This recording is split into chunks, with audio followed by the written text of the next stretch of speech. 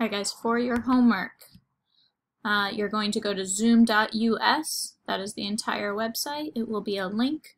Um, and you're going to change the picture uh, so that it actually looks like you.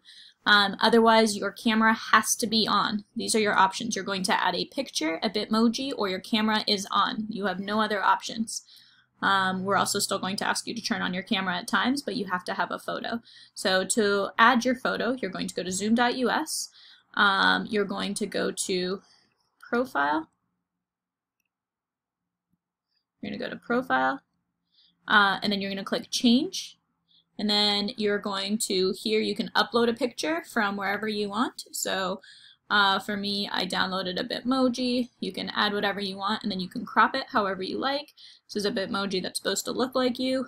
Um, add a picture that looks like you and then you're going to click Save. Once you click Save, then you have um, everything is ready to go and it looks, it actually looks like you. I'm going to delete this because this is not my account. Um, but please understand that you need to have a picture that looks like you if it's a Bitmoji, and if it's a picture itself, then we actually need to see your face in it. I'm going to say this again in Spanish. Uh, voy a mostrar cómo hacer el, uh, la tarea. Para tu tarea vas a ir a zoom.us.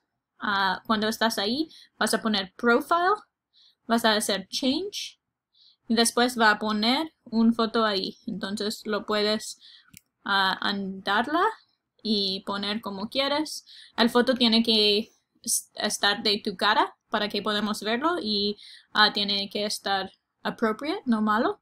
Um, y no tener nada que va a ofender a nadie.